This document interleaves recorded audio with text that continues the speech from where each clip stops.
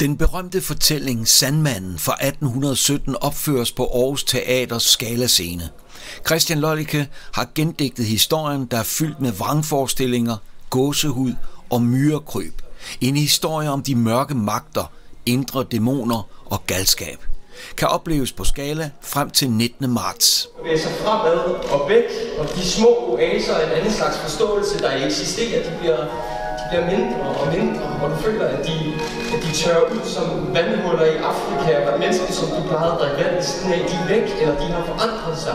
Ja, hvad er virkelighed? Hvordan oplever vi øh, virkelighed? Øh, er et af hovedtemaerne af forestillingen. Og teater beskæftiger sig på en eller anden måde altid med virkelighed. Ikke? Altså, vi, vi, øh, vi eller, eller vi, som, som står på scenen, både er her øh, og er i en anden verden på samme. Øh, så derfor så synes jeg også, det er et tema, som, øh, som passer godt til teateret.